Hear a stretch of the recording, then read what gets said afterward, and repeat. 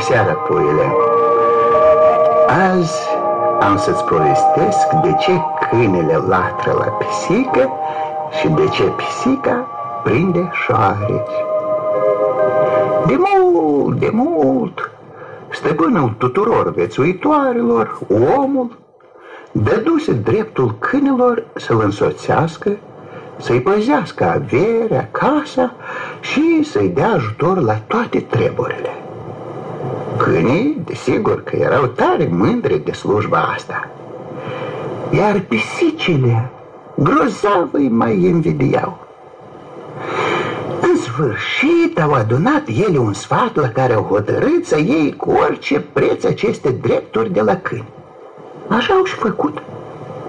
Pisicile au furat pergamentul pe care erau scrise drepturile celea și l-au ascuns în cămară sub o grămadă de vechituri. Însă acolo l-a văzut un șoricel care tocmai căuta de mâncare. S-a bucurat nespus și a alergat la frățiorii săi să se laude că iată a găsit el un pergament.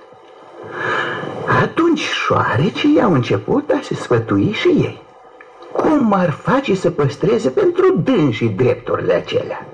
Dar mult timp n-au putut hotărâ nimic. Și iată că un șoarece bătrân și înțelept s-a ridicat și a ghețcăit următoarele. Fraților, mie îmi pare că cel mai bine ar fi să mâncăm acest document. Numai atunci se va putea socoti că drepturile au rămas în mâinile noastre pe totdeauna și nimeni nu le va lua niciodată. Propunerea asta le-a plăcut tuturor șoarecilor și pe loc au făcut o cină fărmițind pergamentul până la ultima bucățică.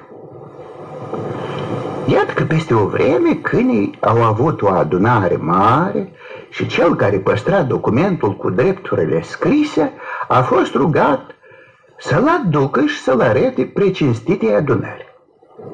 Atunci bietul paznic a trebuit să recunoască că documentul a fost furat de pisici. Vai, ce s-au mai supărat câinii! Îndată au alergat la pisici să le ceară documentul. La început pisicile ziceau că nu-i la ele, însă când au văzut că nu pot scăpa, au hotărât să le întoarcă câinilor documentul cu pricina. S-au dus în cămară să-l caute, dar iau de unde noi. Hai să-l ceară de la șoareci. Dar șoarecii cum se-l dăie? Îl mâncaseră doar de mult.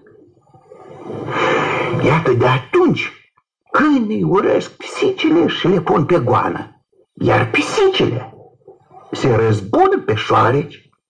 Acum, înțelegi de ce câinile latră la pisică, iar pisica vânează șoareci?